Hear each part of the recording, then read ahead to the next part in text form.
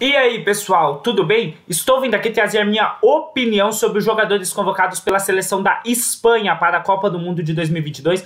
Minha opinião sobre cada um dos jogadores. Já peço para que você deixe o seu like e comenta aí embaixo. É, quem para você, quem você acha o grande craque dessa seleção e o piorzinho? E quem poderia ser convocado? É, que o técnico que o Luiz Henrique não convocou. Eu já gostaria de começar meu vídeo aqui criticando o Luiz Henrique. Ah, mas criticando por quê?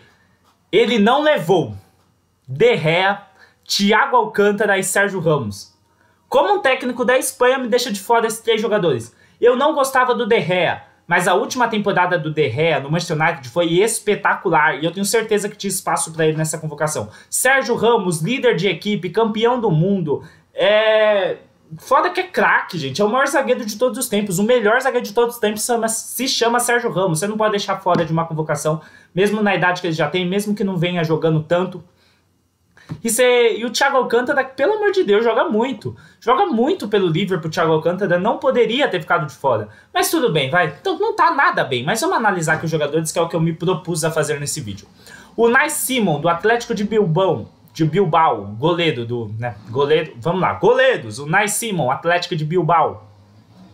Grande goleiro, tá? Robert Sanches, do Brighton. Mano, eu gostei muito desse goleiro dos jogos que eu vi, tá? Cata muito, cata pra caramba. E David Raya, do Brentford, também é um bom goleiro, mas pra mim dava pro De Gea na vaga dele. Pra mim o De Gea seria titular desse time, tá bom? O De Gea joga muito. Defensores, o Carvajal, do Real Madrid, lateral direito, pra mim é um dos melhores laterais direitos do mundo. Aspilicueta, do Chelsea, faz o feijão com arroz legal na lateral esquerda ali. Eric Garcia, do Barcelona. Aí estamos falando já da renovação. É até engraçado ver Eric Barcelona, que na minha mente já vem o Eric Abidal. É muito louco, né? Daquele time histórico do Barcelona. É, então, Eric Garcia. Hugo Guilhermon, do Valência. Confesso que não conheço o jogador. O Laporte, do City. É, vem crescendo muito na mão do Guardiola, tá? Vem jogando bem. Paulo Torres, do Vila Real. Outro jogador que vem jogando bem. Vem, vem jogando muito bem, na verdade. Jordi Alba, eu não sei se ele aguenta um pique de Copa do Mundo, tá? Pra mim é nível a convocação do, do Daniel Alves. Não, não é não. A do Daniel Alves é absurdo. O Jordi Alba joga e é titular de um Barcelona. Às vezes é titular. É, só que é a mesma coisa do Sérgio Ramos, né? Se eu defendo a convocação do Sérgio Ramos, eu não posso pedir Jordi Alba fora. E Gaia do Valência, que é um jogador ok, na minha opinião. Meio campista, Sérgio Busquets que o que o Sérgio Busquets é discreto e faz a função de 5 como ninguém é palhaçada, tá? Busquets joga muito naquele 5. Nem parece que aquele corpinho magrinho, esquelético, consegue jogar tanto como o volante, tá? Primeiro volante. O Rodri, do Manchester City, o Rodrigo. É, nossa senhora, que time é esse, gente? Como joga bola o Rodrigo? Pedri, do Barcelona, e Gavi, do Barcelona. Vou falar dos dois juntos aqui, tá? É, são as grandes promessas dessa equipe da Espanha.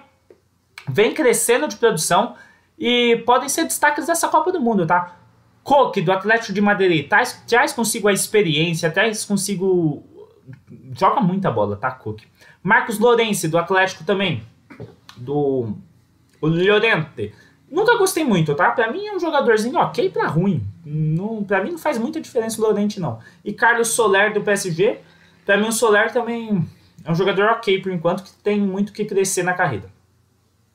Álvaro Morata, pra mim é pipoqueiro, do Atlético de Madrid, pra mim é pipoca, tá? O Morata faz uns golzinhos, mas perde horrores também. E fica, o que fica impedido o Álvaro Morata é palhaçada.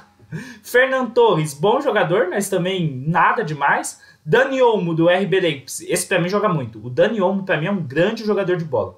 Nico Williams, do Atlético de Bilbao, confesso que eu não conheço. Quer dizer, o Williams, ah, é um bom jogador, lembrei dele. Lembrei, lembrei. Pablo Sarabia, do PSG, pra mim nunca fez diferença alguma no PSG. Pra mim, jogador comum também. Marco Asensio, esse pra mim, quando quer jogar bola, joga muito, mas faz tempo que pra mim não quer jogar bola, tá? E Ademir Pinho, do Villarreal. Confesso que não conheço o Pino, do Villarreal, não conheço. Quer dizer, eu já vi jogo com ele, mas eu não lembro dele. Essa é a verdade.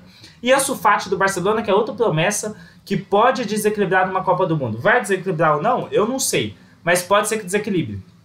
Foi mal pela luz ter piscado agora. Essa é a minha opinião sobre cada um dos jogadores convocados pelo Luiz Henrique. Lembrando sempre, absurdo ter deixado o Sérgio Ramos, Thiago Alcântara e De Gea de fora. E você, quem é o grande craque dessa seleção aí? Pra mim, o craque dessa seleção é... Eita, nós. Eu devia ter pensado enquanto eu ia lendo, né? Dor. Mas o craque dessa seleção? É uma seleção de muitas promessas, né? Mas quem vem jogando mais bola para mim ultimamente é o Rodri. O Rodi é o cara que vem mais jogando bola. O Dani Olmo também vem se destacando, na minha opinião. E o piorzinho, pra mim, é o Sarabia. O Sarabia, pra mim, eu não entendo o jogador, não entendo porque joga no PSG, porque tanta gente gosta. Não gosto. E quem faltou, eu já falei, né? Já falei muito. Essa é a minha opinião sobre jogadores convocados. Assista os outros vídeos aqui no canal. Vou deixar a playlist aparecendo aqui com as minhas outras avaliações das seleções. Comenta aí embaixo o que você achou do vídeo. Deixe sua sugestão, seu like. Muito obrigado por ter assistido o vídeo até aqui. Um beijo, um queijo caranguejo. É nóis, tamo junto. E o Hexa vem, hein, pessoal. É nóis. Falou!